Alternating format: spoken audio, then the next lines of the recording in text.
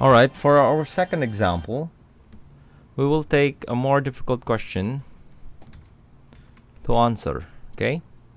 So let's begin.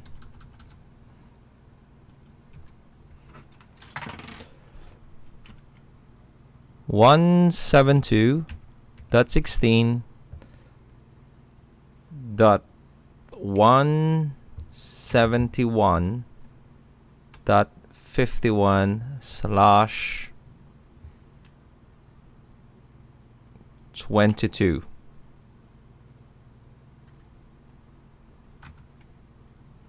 You need to get five questions out of the given.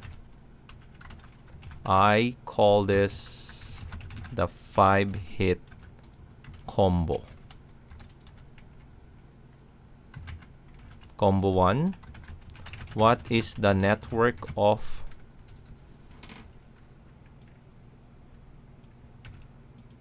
this address? So the solution is first and foremost slash 22 is third octet 4i right so the octet in question is 171 because this is the third octet. And you just need to ask yourself what 4i is nearest 171 so the answer is 172 16 dot blank dot zero so choices are 160 164 168 172 and 176 so the obvious answer would be 168 so that is the network address.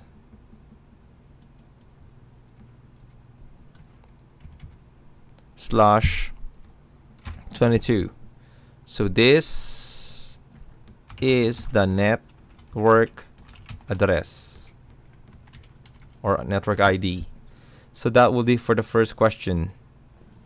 Now the second combo combo question number two is what is the valid range inside the net ID well, the solution is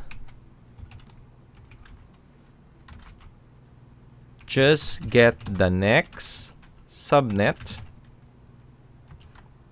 subtract 2, but we add 1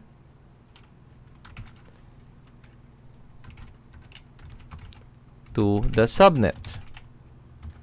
So if our subnet would be 172.16.168.0 the next subnet is 172.172.0 so if we subtract if we get if we add one from this subnet so it's gonna be 172 oh sorry.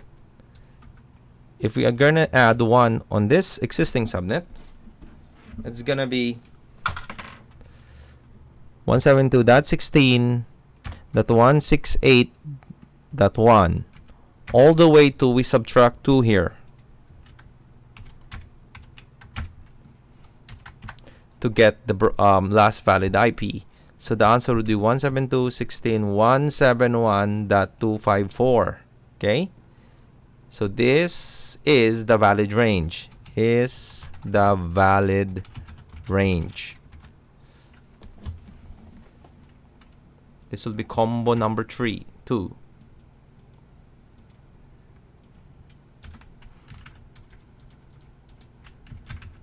Combo number three question, that's why it's called a five hit combo, is what is the broadcast? Well, on this point, things will be much easier because all you have to do is just add one to the last valid IP which would in fact give you the broadcast. 172.16 171.255 combo number four is how many subnets are there in all? Well do you remember the formula we were using in class to get the subnets? It's original plus the bits okay so we all know that this is a slash 22 from the given. And if you look at the range of the IP it's quite obvious it's a class B. So a class B slash would be 16 so how many bits would was added to 16 to get 22 so the obvious answer is 6 bits right? So, moving on, 2 raised to 6 would give you, any guess please? Yeah, 64. We subtract 2 for the all host, or for the all ones and the all zeros, giving you a total of 62 subnets total. Alright? And combo number five question is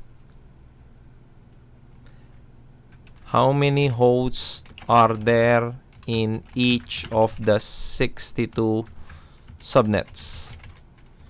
Well, the answer is again easier. From our class, we know that the formula to get the host is 32 minus the bits. Got it? And it's now becomes slash 22. So how many bits were subtracted to 22 to get uh, 32 to get 22? Obviously the answer is 10 bits, right? So moving on, to raised to 10, we all know that is 1022, 2024 actually. We need to subtract all um, 2 for the all ones and all zeros giving you a total of 122 hosts per subnet, right? So this is the kind of questions you would expect from the CCNA exam. So whenever a given question is is asked, be sure that you are able to get all five combinations from the net, finding the network ID, getting the valid range, the broadcast. Okay? So to better prepare you for such questions, please answer this in your Shiro paper, okay? So these are the right Team Rivan questions.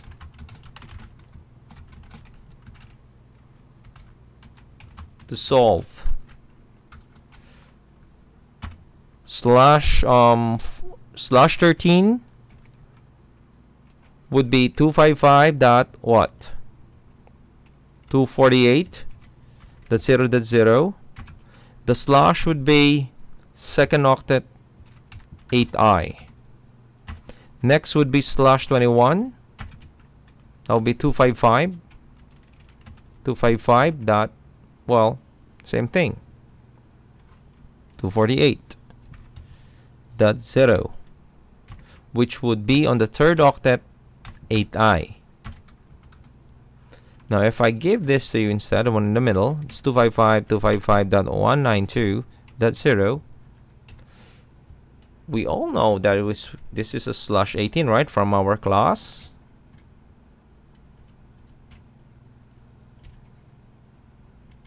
And in fact, this would be um, third octet 64i. So um, please do attend our review sessions um, usually done on weekends sometimes on, on holidays because that's the only time most of the instructors are free so thank you for watching this video and I hope to see you again